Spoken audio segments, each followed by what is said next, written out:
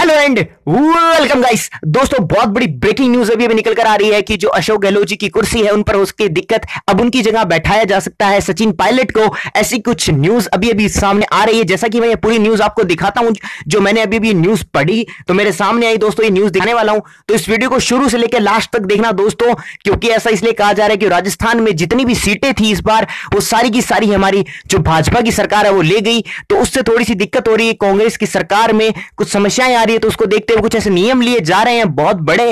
वो शुरू से लेके लास्ट तक इस वीडियो को देखने पर आपको पता चल जाएँगे। तो दोस्तों, जैसा कि आप स्क्रीन पर देख सकें, देख सकते हैं खतरे में अशोक गहलोत की कुर्सी सचिन पायलट को मुख्यमंत्री बनाए जाने की मांग हुई तेज। तो दोस्तों ये पूरी न्यूज़ दिखाऊँगा उससे पहले आपसे प्यार भरी निवेदन वीडियो को लाइक कर दें।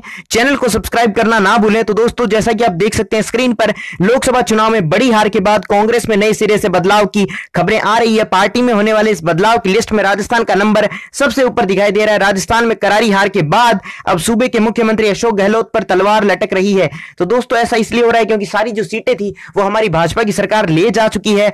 और दोस्तों, इसकी पूरी न्यूज़ आपको देख देता हूँ।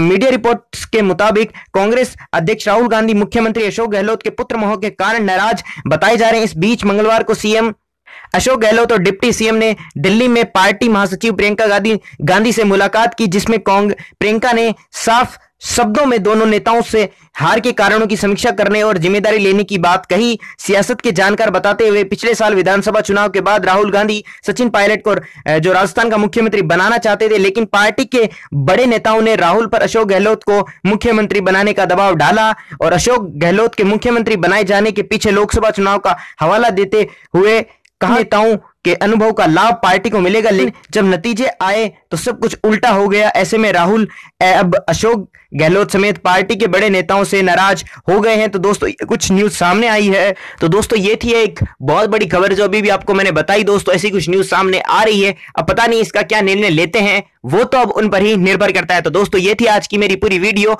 वीडियो पसंद आए तो वीडियो को लाइक करना चैनल को सब्सक्राइब करना मत भूलना। तो मिलते हैं फिर कुछ ऐसी इंटरेस्टिंग वीडियो के साथ। तब तक के लिए जय हिंद वंदे